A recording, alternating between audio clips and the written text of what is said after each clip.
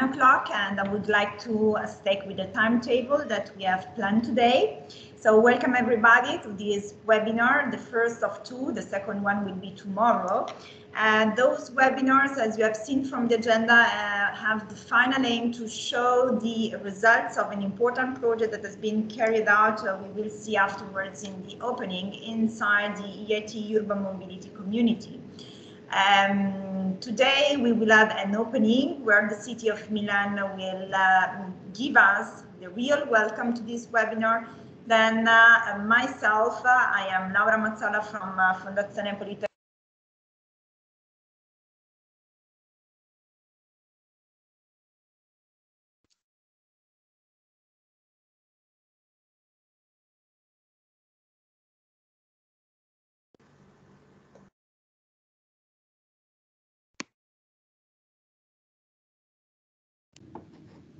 Laura, I think your microphone went on mute.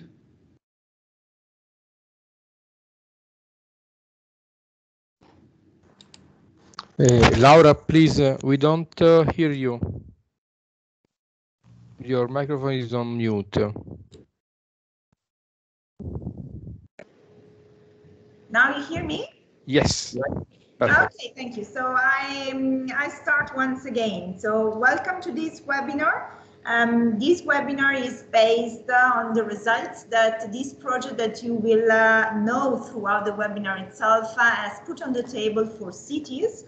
And uh, as I was saying before, um, I will be the chair of this webinar. I'm Laura Mazzola from Fondazione Politecnico di Milano. This webinar will be articulated with an opening section where the city of Milan will give us the real welcome to this webinar and then an opening section that will see as well some uh, brief information that I will give you on the context of this project. Then uh, you will be guided through the uh, technical steps uh, uh, and results of SOUL project uh, by the experts. Um, it, there will be one change. The change is related to the presentation of Professor Tamas Matrai, uh, since unfortunately due to personal reasons he won't be able to join us. But he sent us the, his presentation so i will do my best to show you the results of his work. Um, some a few indication that you can see as well uh, um, in the monitor on the monitor um, are the instruction how to deal with with uh, this webinar. Please switch off your camera switch off your microphone and uh, whenever you have answer uh, questions, please put them in the chat. I kindly ask you, in order to properly receive the question, that when you use the chat, you put the name of the speaker and then the question that you want to, to make. All the questions will be collected and will be um, answered at the end of the webinar itself. I think that now we can uh, start our webinar and so I give the floor to Angelo Pascale from uh, Comune di Milano.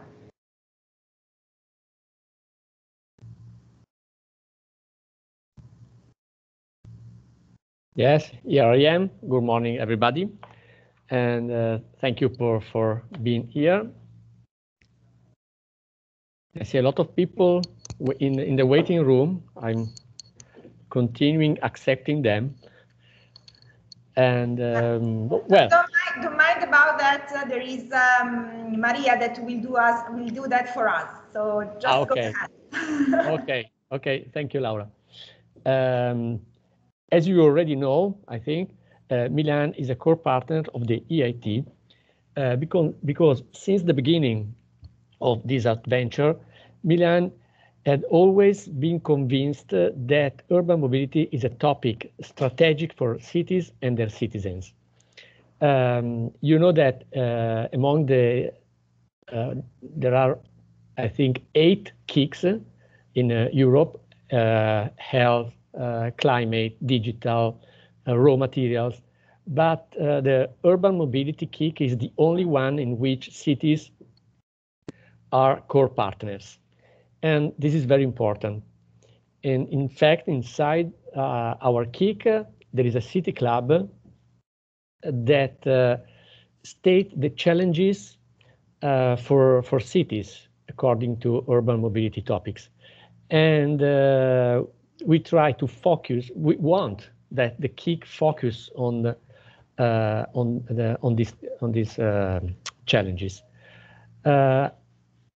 We are convinced as a city that the urban mobility could uh, reshape the way citizens live their cities and and people could try to change their behavior. For example trying to live without their own private car parked under their home as uh, they do at present. But uh, what had convinced milan to participate to the KIC to or to the to this urban mobility KIC is the innovative profile of the KIC itself and the participation of many other cities, so different each other, but nevertheless with a common issue uh, that is to live better in um, in urban space. And under under this point, under this point of view, uh, mobility is a strategic asset, and uh, city uh, city cities have to improve it and invest invest in terms of innovation and uh, uh, smart solution. I I want to speak some. Uh, I want to say something about the present pandemic, not to bother you because I know everybody is uh, concerned on, on due to the pandemic.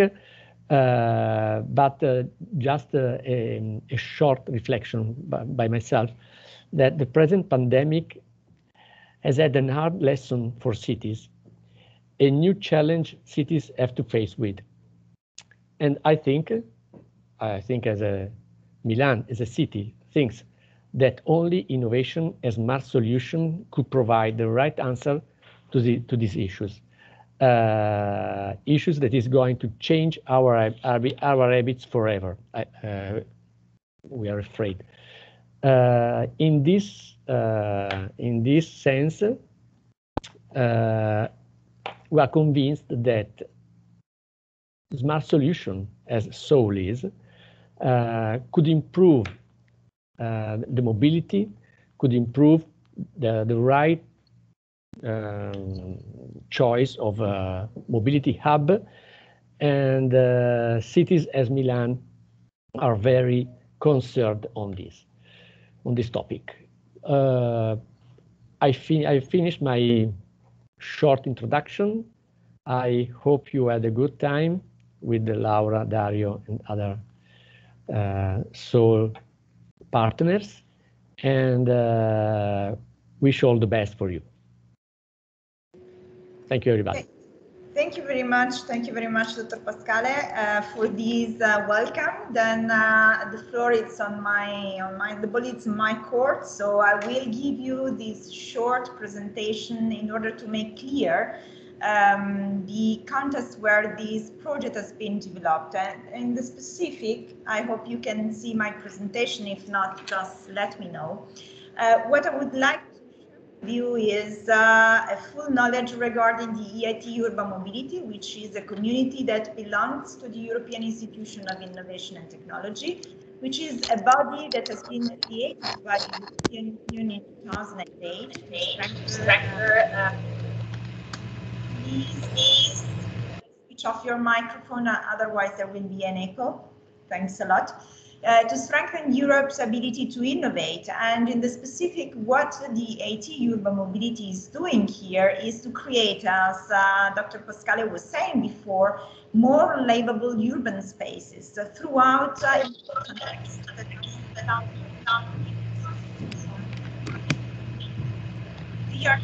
about the uh, definition of uh, a strategic research agenda to improve the multimodal transport system, to increase the green and efficiency of uh, city logistic, to create uh, um, a mobility system that is able to take in consideration not only mobility itself, but as well health and well-being of people and also to create an environment which is, yes, green, but as well human friendly. And uh, in the end, the final goal is to deliver to the citizen a sustainable transport system.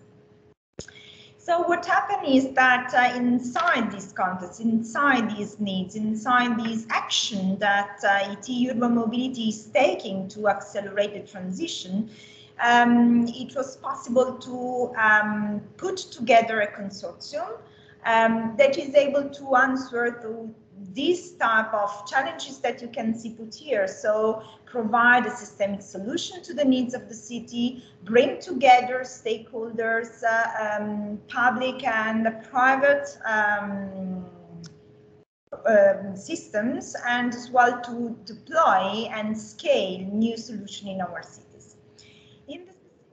This slide, you can see the concept of soul that has, um, uh, has been born inside this community.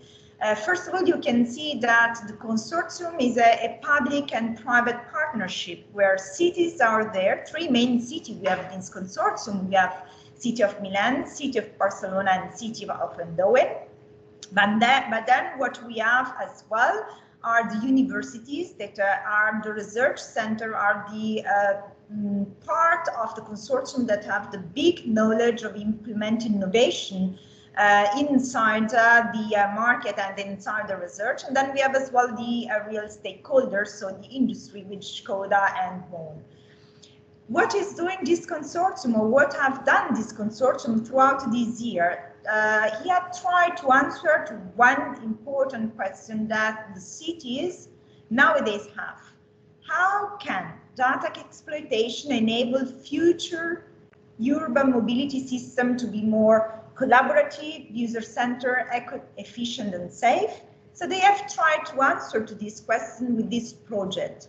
SOUL is an acronym, but it stands for Smart Mobility Hub Platform. So they have tried to answer to this question with a platform, with a DSS that you will be able to know throughout this webinar. This is the end of my, uh, my opening. So now I give the floor to the technical um, to the technical guys, to the people that have worked hard during this year. And the first of all is uh, Professor Milos Mladenovic from Aalto University that will tell us the new concept that they have created throughout this year to solve cities problem and to answer the problems that we have put on the table before. So Milos, the floor is yours. Thank you, Laura. Let me know if you can see my um, my slides. Uh, otherwise, thank you for the introduction and greetings from uh, University. So I'll, I'll take um, five to 10 minutes briefly um, to bring us up to speed, to uh, focus on um, what are we talking about here as a new concept um, around urban mobility hubs. Um, so that's um, the focus of, of, of, this brief um, brief talk. And of course, as already uh, mentioned by Angela, we're dealing with uh, a range of different challenges uh, when we even talk about um, urban mobility hubs, we have a range of different goals. And these goals are not necessarily always um, in line with each other. They require trade-offs. And as you can see, we have uh, we have some some there listed. So we have to talk about carbon carbon emissions, energy consumption, noise, safety, security, accessibility. Eventually, also for these operating hubs, uh, for for for urban mobility hubs, also operating revenue many other things uh, are at uh, are at stake.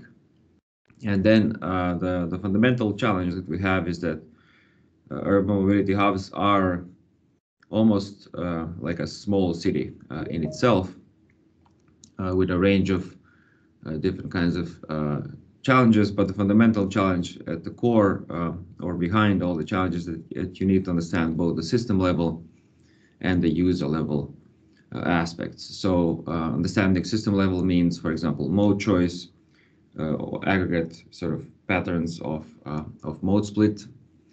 And then larger questions of integration of different kinds of systems and infrastructures that are there in urban mobility hubs.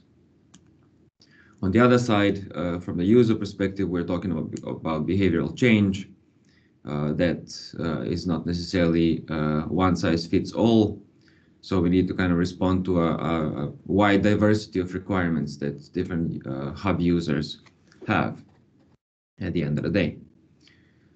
So then when we start making um, decisions uh, about hubs, the question is what kind of decisions are we actually making? And that's another uh, challenging aspect. The fact is that we have these decisions um, distributed across across space, time, and usually across a range of different stakeholders. Our colleagues will tell you a bit more about these aspects, but we have planning decisions. Um, so in the case, for example, of Eindhoven, uh, they uh, do not have the urban mobility hub yet put in place, so they had to also think about, um, for example, the location of this hub uh, in connection to the larger structure of public transport network. But then there are many other kinds of uh, decision domains, so design decisions, we know that we need to be, for example, electrifying our, our vehicle fleet. So that's that's one of those um, uh, aspects of decision making. But on the other side, we also have a lot of management operations decisions, and um, we have, of course, also in the in in, in the Nordics seen more um, inclement weather uh, in the past uh, several years. On top of the fact that these decisions are distributed, we also face a lot of different uncertainties. So we're not just um, uh, talking about the core uncertainties of, of behavioral change, how will people uh, behave, but they of course um, associate with uh, a range of different ones. We don't necessarily know how many of these uh, services and technologies that we're talking about nowadays, such as mobility as a service, how will they eventually develop? Uh, then we of course have a lot of different things. Uh, we mentioned that urban mobility hubs are almost like a small city. So we have a lot of different um, infrastructural and, and digital components. On top of the, the transport services, you have also other kinds of services. That's why these are uh, supposed to be important uh, areas in the city that are also providing a lot of different kinds of uh, services and, and, and this all brings a lot of people.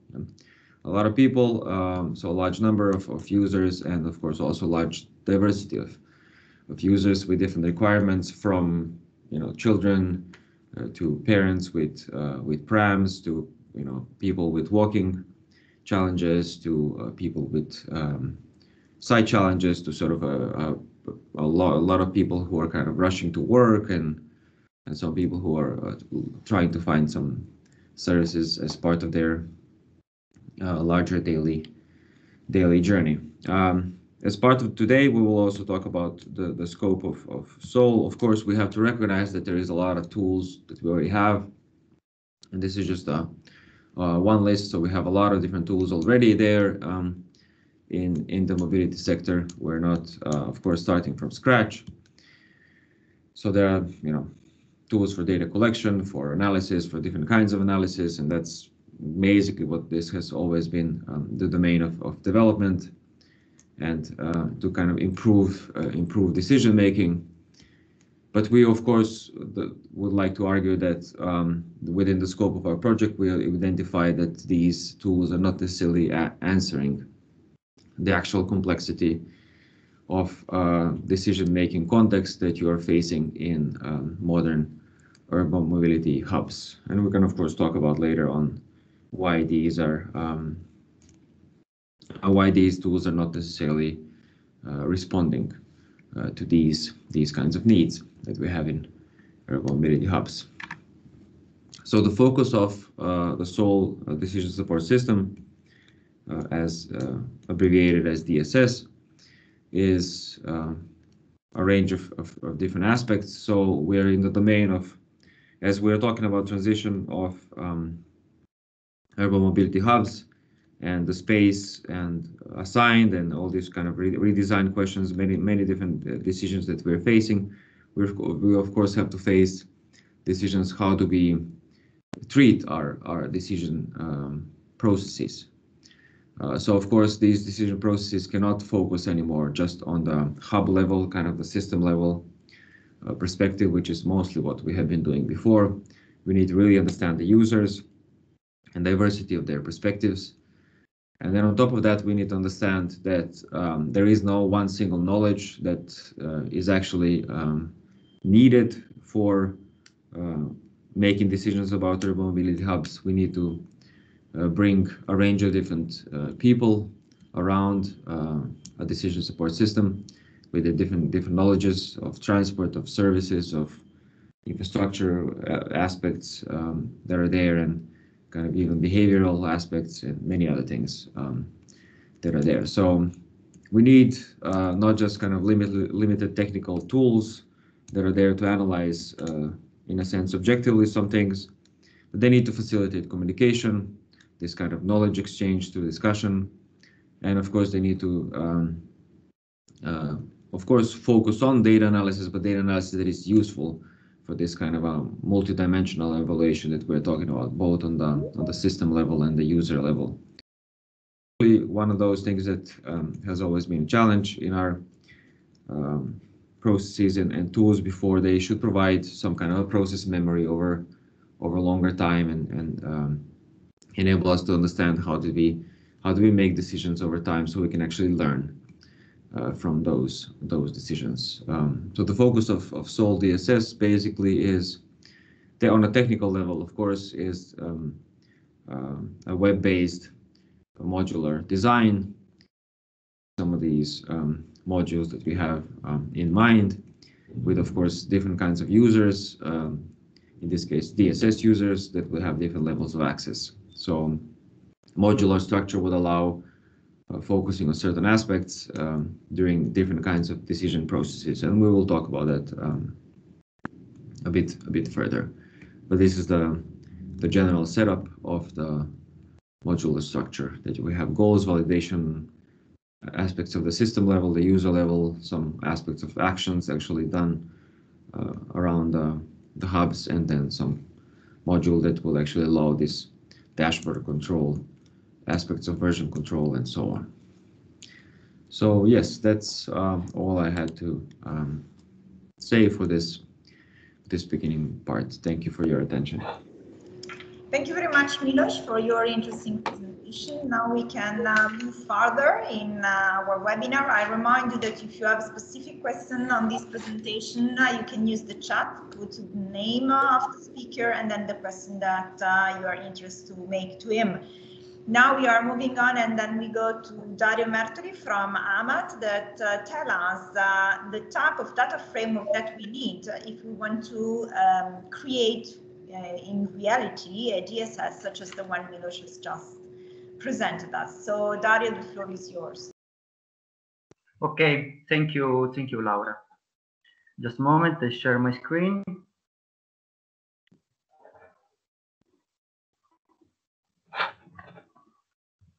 Okay, do you see my screen? Yes, perfectly. Okay. Good morning, everyone. I am Dario Mertoli, transport engineer and uh, activity leader for AMAT and Comune di Milano in the SOUL project. Today, we are dealing with about data framework, an important source for SOUL DSS. The main contents are the work packages number three of the activities data collection integration, because one of common needs of the three cities, Milano, Barcelona, and Dover, is ensure the data collection integration and define um, one of uh, functional requirements. And uh, we analyze the, each task of WP3. So in order to implement a data collection structure and create a digital environment useful for DSS development, in these uh, work package was necessary to define a smart and effective data management thanks to the involvement of the three cities um, that grow in their experience highlighting the issues and best practice in data model, data sharing, and post-processing. As um, for this reason, this work package was divided in three tasks: framework for data collection, data collection strategies, and data collection structure. And these activities have been carrying out thanks to a research group of uh, um, University of Milano Bicocca and thanks to Professor Andrea Andrea Maurino. So during early bird in um, 2019, a questionnaire has been, uh, has been built in order to evaluate the stakeholder perspective on mobility services. The main outcomes show that municipalities are collecting data from mobility and is uh, evident uh, that a good distribution of information is available in the city department. But those data are not used for planning because the stakeholders are not satisfied with the quality of data. Moreover, Dario, some uh, Dario, sorry to interrupt yes. you. We do not see anymore your presentation. What? We are not seeing, Now? we are not seeing your presentation anymore.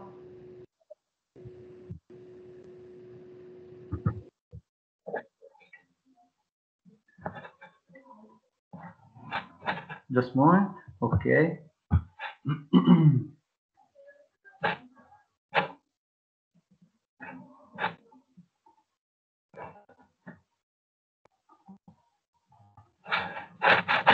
Now, Yes, now do you see my screen? Yeah. Okay. Yeah, now it's visible. Okay. So uh, some answers show that the regulation um, and the legislation, but also technical aspects, law compatibility, are obstacle in um, for implementation of new mobility solution. So for each cities, we analyze and report the main data providers and available data set. For Milano, thanks to the municipality with the support of AMAT. AMAT is Agency of Mobility Environment Territory of Comune di Milano that manages and updates the main data set of the city of Milan, like parking, bus lane, road accident, shared mobility service information, and the others. The other main data, um, data providers are Public Transport Company of Milano, Trenord, Regional Rail Transport Operators, and RFI, owner of Railway Nation Network. For Barcelona, we have Metropolitan Barcelona Transport and the regional railway operators, National Network Spanish Railway, Barcelona Municipal Services, and Barcelona City Council. Instead, in Eindhoven, we collect uh, data about parking, cycle count data, shared mobility fleet data, and to have national data warehouse for public transport for uh, road data. In the first task, framework for data collection, the main, the main purpose is to investigate and analyze the data set available in each mobility hub, define a data collection methodology, define the actor involved in the data management. For this reason, the aim is to use a spreadsheet to collect metadata about the dataset available, requiring two, free cities, several info like uh, local name, abstract, keywords, ownership, GDPR, frequency, volume, and so on. The main, um, the main outcomes are reported in the following graph, and thanks to the contribution of three cities, we have been gathered about 76 datasets we um, see um, that the about 40% of the dataset are collected in uh, public transport following shared mobility. The GDPR is not used since the sensitive data are not uh, used or because it is needed registered on the web portal. Uh, 73 of percent of metadata don't use a metadata schema and the access mode is carrying out uh, through access on web portal or also API. We have a common format of data like CSV, Excel, um, XLS, JSON, but it needed align the presence of the GTFS static data for each cities. So the main results are the similarity in most of data provided by the free city, the lack of common metadata, the technical problem with the dataset declared like private and the availability of information about public transport shared mobility can provide enough data for mobility or forecast analysis. The second step, data collection strategies, represent the final version of the list of dataset of the dataset catalog. For this reason, we proposed a survey which insert a dataset or group of dataset and deepen the data collection strategies data management. For this reason, we propose a questionnaire in LimeSurvey tool, considering about 35 questions, is a mixture to closed-ended question and open-ended question. The survey is divided in uh, several sections, background question, data source identification, about if the datasets are, uh, are external, internal, the type of agreement between the data owner, data providers, the data collection um, phase, the data enrichment, data transformation, data storage, and data quality assessment and metadata. From the um, graph, we can see that the 78% of the dataset are external. The data collection methods are um, through is through um, dump file or streaming, and among other data, a lot of data sets are collected through data file and API. A lot of data sets don't use enrichment method, and 58% don't transform of the, the, the data. The data storage, the, the data are stored locally in the in organization or in Eindhoven in, uh, in cloud, and 68% of the data don't implement uh, data quality assessment. So the main results are the most of data sets are external, the frequency of dataset is daily, several external data are retrieved through data file and API, the reason of the transformation of the data is a very high volume or because the format not comply with open data portal. The many data sets are stored locally and most of the data sets don't follow a data quality assessment process. Regarding the quality dimension, the most considered one is the consistency assessed by applying rules such as foreign constraints, numerical range, etc. The next step uh, in this week is the data collection structure, the final step of WP3. Build and integrate a level data structure, including all the top level concepts used by each municipality. Use entity relationship as data model able to describe concept and their relationship. So the gains to the data framework thanks to SOUL project are the its concept in the local source of a municipality could be mapped in terms of the unique global schema. All analysis will be realized on global schema and all analysis can be applied to a data, data of local source and the full exploitation of the dashboard and analysis that will be defined in another work page, the DSS framework design. That's all. Thank you, everyone. Thank you very much, Dario, because uh, with, with, with, this presentation, I think that we give uh, a good hint of the difficulties in uh, managing uh, the set of data that normally a municipality has, but at the same time, uh, I think that it was quite clear that these data represent the basis for the working of the DSS that Milos was describing before. Then we have uh, another puzzle piece to put here that uh, is the one related to citizens.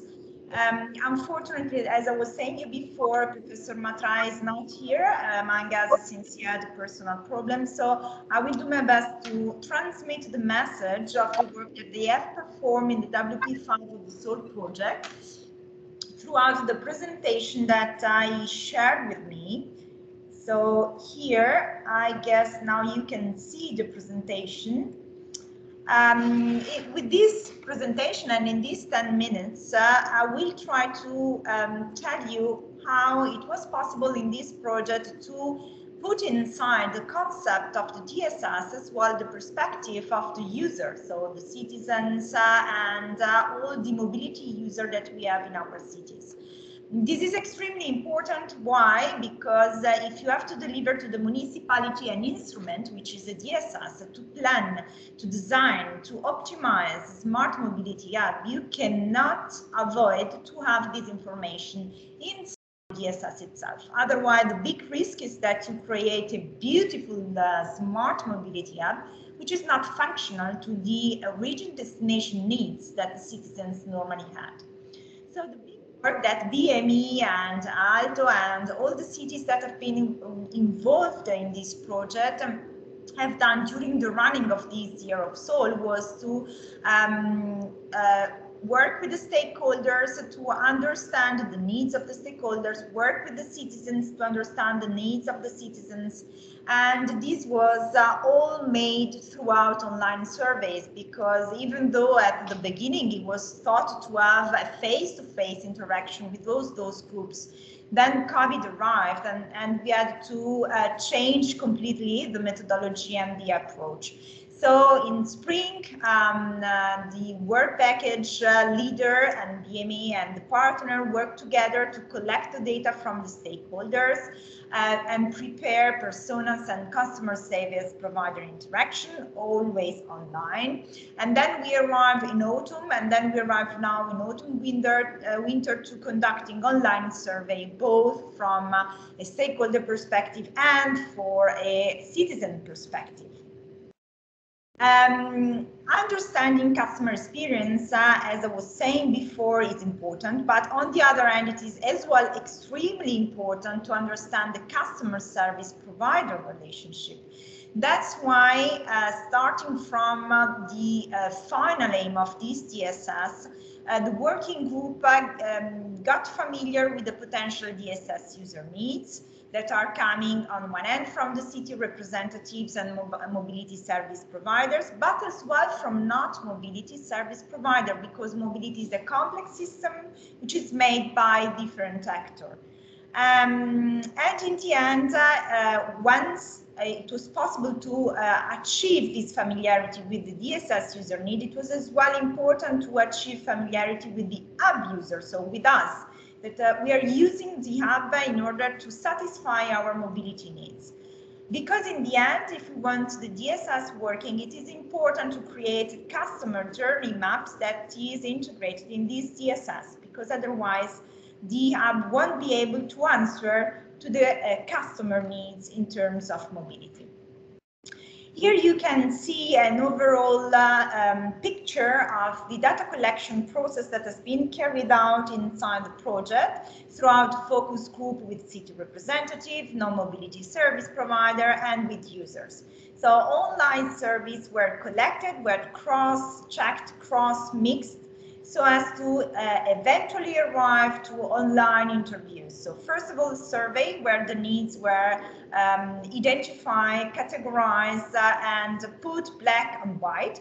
And then uh, from those needs, it was possible to create specific interviews to have specific answers to have specific data to put inside our DSS. And of course, to do that, it was necessary to collect uh, materials. So uh, city statuses were one of the material that were needed, draft questions, create guidelines, and in the end, provide online survey. You will be able to find those online survey on the web SOUL project. Maybe we can share it with you after the webinar as well, together with the material uh, that we will share with you. Um, this survey um, is able to provide to the people working on DSS some important information. Um, the category of this information are depicted here in the presentation, but what is important is that uh from this type of survey, we can have a clear insight on the defects that nowadays have us, um, desire that the customer that are using the hub have and what COVID-19 has specifically changed in the perspective of the customer. And this is very important because this means that the DSS that we are creating could be used as well in pandemic condition to change temporarily the usage of a specific app related to the needs of the pandemic itself. So we learn a, um, a lot of things. We learn a lot, or we receive a lot of message. And those uh, lot of message are now in the phase of being synthesized in order to be put in the framework of action in the concept of the DSS uh, um, itself. Um, here you have the methodology that has been uh, uh, used to sensitize this lesson learned. I won't spend a lot of uh, point here because uh, what is important is this slide because in the end what we will be able to hand over to this DSS throughout this type of analysis is the customer journey map and uh, the customer journey map to uh, related to the hub but not only this, as well a methodology to create, to analyze, and to store a customer journey map when you want to make a DSS. And this is extremely, extremely important, as I was saying before, because without that, all the action that the municipality could take could be useless or could, could be um, a damage instead of a benefit for the city and for the customer itself. Um, so the people are working on this um, journey map in order to integrate it inside the DSS and the journey map is created on feelings, feelings coming from the people. So are you feeling abandoned? Are you feeling disappointed so on and so forth? So that uh, it is possible to create, create a non-linear flow chart to provide those journey maps. And I, have tried to do my best to speak you about this work. Uh, for sure, if you have specific question on that, please contact directly me and we'll transfer those questions to uh, Professor Matrai, who was the leader of this type of research. And um, I, could, I will collect all your questions on that point. Uh, and as I was saying before, I will uh, transmit them to uh, Professor Matrai and then I will come back to you with the proper answer. Um, so this part is closed, and I will give the floor to another important puzzle piece inside of this project, which is uh, um, all the work that TUM University has performed here, because uh, thanks to the designing uh, department of TUM, we were able as mobility expert to change our mind and to manage in a different way the development of the DSS. So here we have Professor Kellhammer from TUM University. The floor is yours and uh, let's look at the design thinking approach that changed our mind during this year. Thank you, Marco.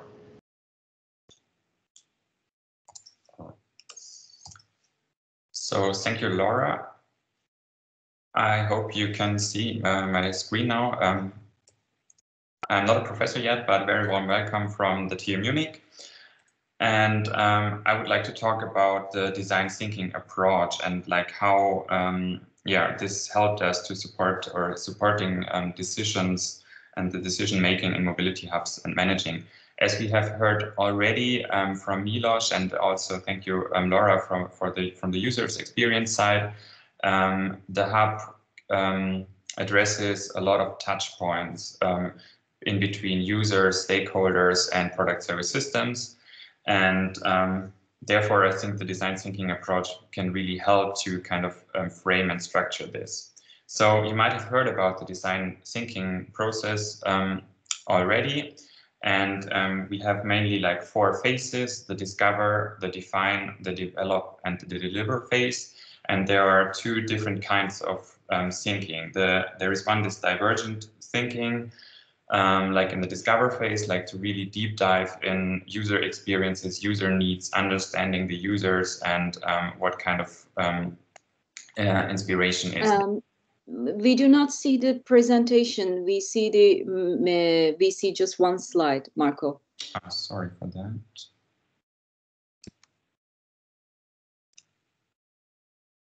Is it working now? Yes. Okay.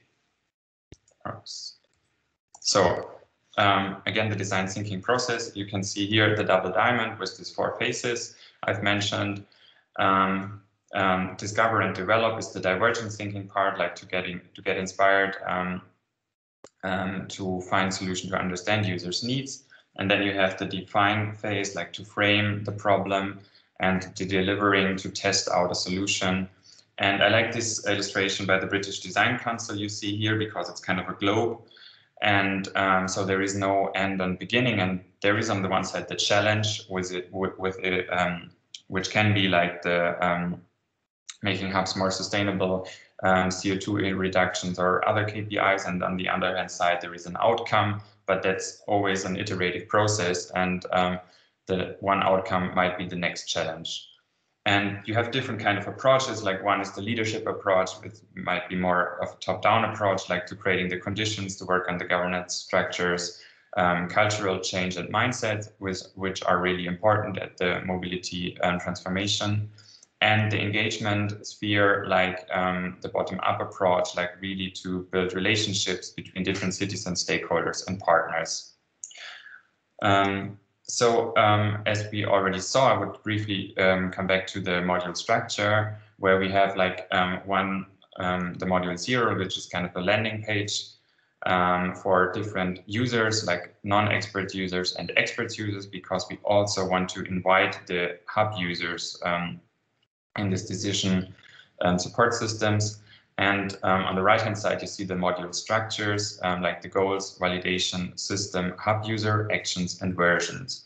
So in the next slides, I would like to show you how we go through the four phases of the design thinking process and which kind of modules address what kind of phase or thinking. So coming back at the mobility hubs as like a common ground for negotiation between the different stakeholders, users, and like the product service systems. Um, the first phase is like the discovering, like really to understand the users. Who are they? What are they doing? And why are they doing this or that? To understand their behavior and um, so stay human centered and really try to understand and research on that rather than assume just that they need this or that solution. Um, we address this with the hub user module um, and the module of system level performance. Then the second phase, define the challenge. Um, this is on the specific parameters from the discover phase. Um, like you can set the goals in the goal setting modules, like the reduce uh, um, CO2 emissions or NOx emissions, or making the access of hubs more comfortable.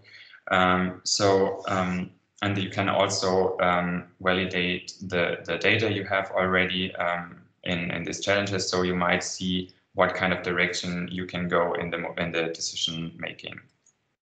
Then um, there's the develop or encourage participation phase.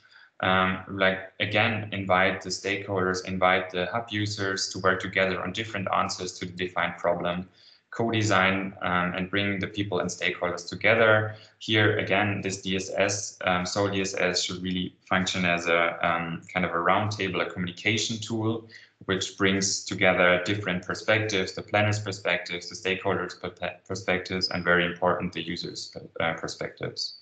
And get inspired by all of them. Um, so this should be kind of a very um, um, informative um, kind of setting. And you can work in this like uh, in labs or roundtables and and really um, design and, and experience some some uh, inspirations there that's addressed in the actions module. Um, we have an action register and prioritization. And again, the hub users module, um, what kind of defines the diff or um, brings in the different hub users. Um, the last um, is the deliver phase, like the prototype and the testing.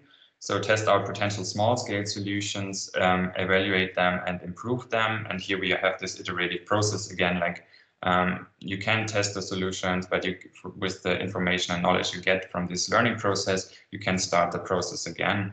And um, that's kind of um, made visible in the in the system level performance. Like you can see the status you reached already. Um, and here again, this kind of um, solutions or actions are well connected to the hub user's experience, again, as Laura mentioned it. So I would like to give you a glimpse at the wireframes of the interface for the DSS uh, we've been working on. Um, it's a web-based tool, and um, as you see here at the landing page, it should address like different kind of users, non-experts and experts users. Um, um you have kind of a map here. It's a very um, general Europe map of Europe, but then you can have like your city or your hubs in the city or like the hub environment. Um, you can have a personalized profile and that also kind of should manage the interaction between the involved um, stakeholders in the planning process. And for this um, interface, we also took this human, uh, this design thinking approach, like really to understand the planner's needs. And um, um, yeah, we're looking forward to get feedback on that. We um, only have wireframes in the first phase, so this needs to be tested out, but we have this from the feedback from the first year. So um, I'll show you two um, wireframes of two modules. The one is the hub users, as I mentioned. Um, you can have different kind of personas, hub users, um, seeing their um, needs and wants and what kind of um, modes of transport they might prefer and why. And you can also add new personas and can you can add your information and knowledge about your personal hub users and kind of cluster them within like hub socionas, like by income groups, by age groups, or people with um, uh, special um, needs and wants. And very important is also like you can get um, real-time feedback like anecdotes or some kind of um, statements like um, Google comments or or other things like that. You have kind of a real-time feedback, seeing the set grade of satisfaction of your hub users. And um, next to this, uh, there is um, the wireframe of the action module, so you can see different kind of actions um, you can prioritize them and you see the status um, like connected to the goal. Um, is this kind of action contributing to the set goal? And um, it should also inspire you by kind of having different kind of clusters of action and you can set different views um, like uh, the map view showing like the actions located around your hub but also like a list view with kind of different categories inspire you and you can also um, add more and more actions, cluster them so that it's kind of a learning process and you can share it within all the planners um, taking part on, on your hub um, development. Um, I worked on this with my team, Elif Simge and Svenja from the Professorship of Urban Design. And yeah, thank you very much for your attention. Thank you very much, Marco. I think that you gave everybody an insight of the new approach that we have to this problem. So and now we are going to the final part of this webinar. Uh, we have dedicated the last presentation to answer a question that I would have had if I had attended uh, a webinar such as this one. So we have done a lot, we have worked a lot, but then what in the end? What are the perspective and opportunities that are put on the market by this type of work? And this is something that uh, Professor Mladenovic from Aalto University will share with you in this last presentation. That is maybe something more, the, the most important part. So how to exploit this type of studies, this type of work, this new solution. So Milos, the floor is yours. Thank you, Emma. Thank you, Laura thank you everyone else um, uh, for the information provided so far. So let's focus on, on the last uh, piece of the puzzle. So again, if we turn um, turn back to a larger overview of this being a modular uh, decision support system and the fact that we have been uh, working um, for the last year trying to manage this complex uh, environment and enable the development of something that would actually be uh, useful uh, for practice, not just um, fall into some of the, the previous um, challenges of how these decision support systems have been developed. We're talking about um, a system that, of course, um, relies on um, both strengths of um, people in these processes, but also on digital technologies. So trying to kind of combine the the benefits of both worlds. Um, so we have, as you have seen, Marco has shown you some of the wireframes of the of the uh, web-based system. These are some of the other ones as well of, of system performance and, and goal setting and so on. So basically that's the, the bottom line setting. And um, if we now ask the question of, okay, so what what is the, the, the actual gap here? Yeah. So if we talk about the market niche, um, if we think about all the different tools that we already have on the market, uh, we would claim that uh, many of these tools uh, face usability or usefulness uh, gaps. And, and uh, tools, of course, are not just uh, those commercial tools. We're also talking about um, commercial by private partners or commercial by um, academic sector or even open access tools that are around around um, uh, on the market. So basically, either they do not really provide the functionality that we need for dealing with these kinds of complex challenges at the level of, of urban uh, mobility hubs that we just talked about, or they sometimes um, are just not not usable. They are not usable um, uh, on the fact that um, uh, sometimes there is you know challenges with, with, with data resolution sometimes there is uh, kind of uh, too much time that it actually needs to uh, to be calculated something or or the, or often problem with with open access uh, tools is that they don't have updates or technical support and so on. So with this market niche in mind, uh, we have, of course, uh, at the same time been thinking about use cases and users. Already uh, mentioned many uh, different kinds of use cases uh, that are potentially there around urban mobility hubs. Um, and here are some other examples of developing actions, um, packages of actions, or collaborating to actually find um, new partners to um, take certain actions that previously were not available or reallocating resources. There are many different actions that are not necessarily just about um, directly design or um, change this um, aspect or that other aspect. Uh, so this also pushes us to think about the, the, the new use cases and of course uh, pushes us to think about that market is of course uh, in this case consisting of not necessarily even if of course municipalities and, and, and the public sector in the city is the core uh, set of stakeholders here. Uh, there are many other uh, stakeholders for whom uh, such decision support system with certain levels of access, of course, uh, should be uh, should be useful. So we're talking about service providers or other other participants that might be there. Sometimes, for example, um, non-government organizations or or, or other kinds of um, public-private organizations. And of course, at the end of the day, the value proposition for this um, this kind of a decision support system is something we have talked about already at the very beginning. We're talking about um, immediate behavioral change, quality of, uh, of life for, for residents. We, of course, need to talk about long-term effects uh, of, of uh, transformation of our urban environments.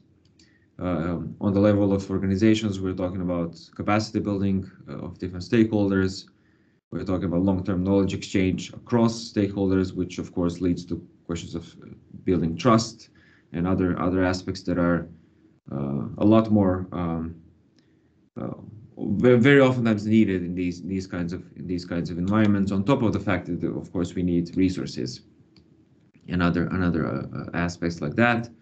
And of course we had to think about that such um, uh, DSS system should be transferable across uh, different cases. So we had three different cities um, as, as uh, playground here, but technically they should be um, transferable to other other locations. And um, at the core of this, if we talk about the business model itself, is uh, some kind of a B2B uh, software as a service uh, setup with different levels. You might have there, uh, such as core, just uh, purchasing the, the access rights um, to the web-based system, advance with more with more training or some customization, and then complete with further customization, further support uh, levels. So that's that part of of the whole uh, picture, I would say. So with that, I think we can uh, uh, end this part of our presentations. And maybe we can open up for some questions. Yeah, thank you very much, Milos, for uh, this overview. And uh, we can open for the question. I have uh, some for you. First one is that um, why should we understand both system and user perspective? Maybe you can uh, deepen a little bit more this aspect um, for the audience. Mm -hmm. Yeah, so the, so I have been trained as a transport engineer, and, and and in the past we have always been trained. You know, think about the system, uh, measure the system, me measure mode split, measure traffic volumes, uh, various other kinds of things, and that's definitely important um, to understand.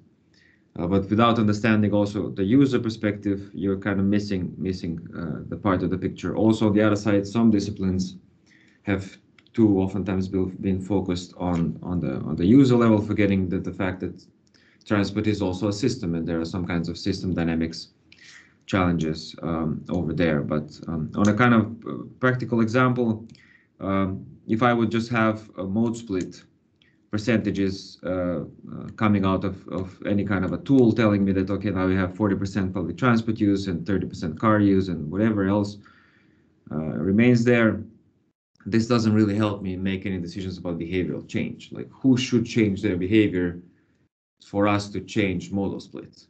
It doesn't it doesn't go back to that kind of a level of action. Also, on the other side, if I just understood that we have challenges that you know one group of people has challenges in accessing uh, the hub, it would also not tell us completely like if we make some changes for this group of people, are we going to actually then disadvantage some other people uh, as well in the in the larger system? So basically, you need to know both sides of this picture uh, if you're going to do um, effective decisions. Thank you. Thank you, Milos, very much for your clarification. And then there is another aspect that uh, I ask you to elaborate um, a bit more in the sense that is uh, um, essential and trivial to better understand the exploitation of these DSS. Uh, you were speaking about existing tools and those existing tools seems to have gaps both in usefulness and usability could you tell us something more about that to make more effective understanding of the exploitation itself? Yes, certainly. So, um, so basically, very often um, these tools have been made with a very different um, mindset um, in mind. They have been made. All, all these tools basically have roots in the in the 20th 20th uh, century, and we are now dealing with 21st century, uh, let's say, problems. So, um, of course, there is a range there. That's something we need to recognize that there are fully commercial tools and and and some tools that are coming coming from the from the academic sector.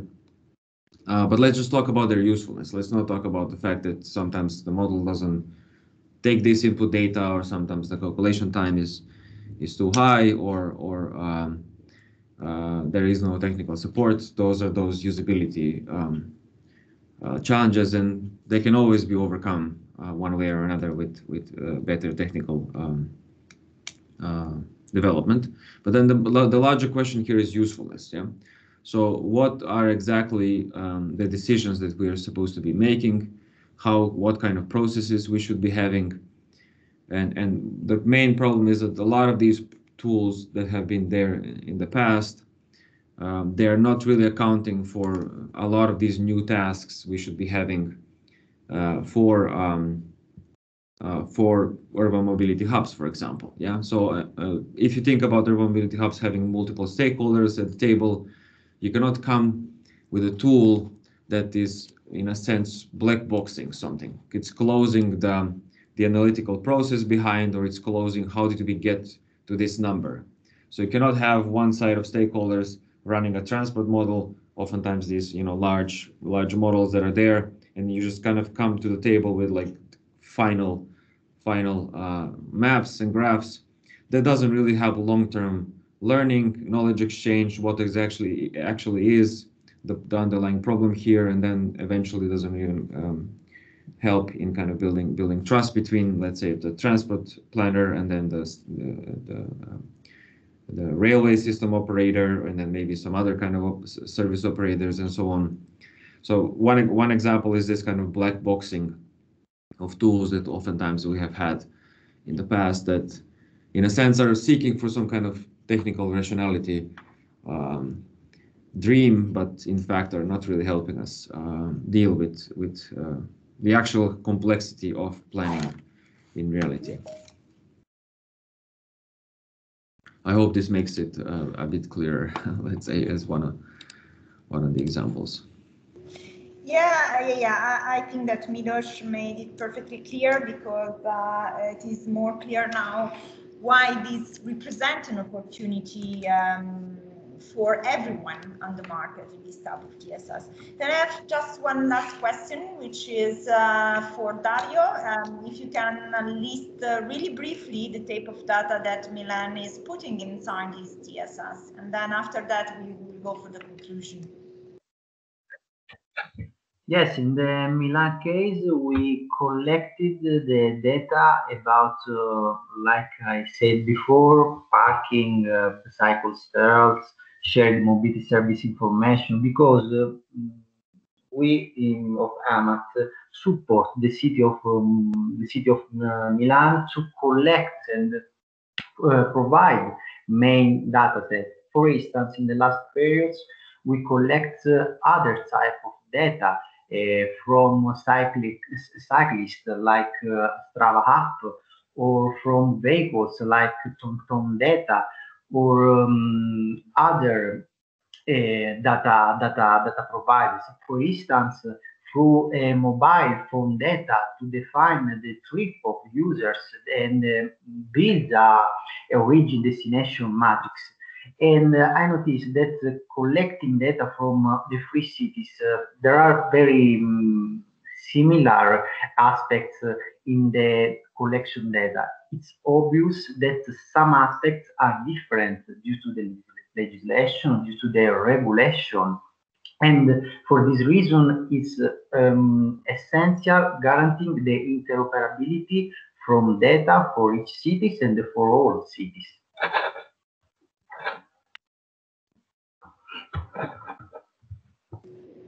Okay, uh, thank you very much, uh, Dario. Thank you very much uh, to everyone. I just uh, point out one thing. Tomorrow there will be an additional webinar related to soul and more in specific, we will go through city needs uh, that have uh, steered all this type of work. Uh, so all of you, if you are interested, just register for the webinar also for tomorrow. You will receive the link and so you will be able to participate as well. Um, the webinar will be from 10 to 11 and um, the presentation that you have seen today will make you available, of course, as well the registration. So I thank you once more, all the speakers and all the participants for the time that you have dedicated to um, our webinar and so enjoy the rest of the day. Thank you, thank you very much. Bye bye to everyone. See you tomorrow, please. Thank you, everyone. Thank you. Bye bye. Bye bye. Bye.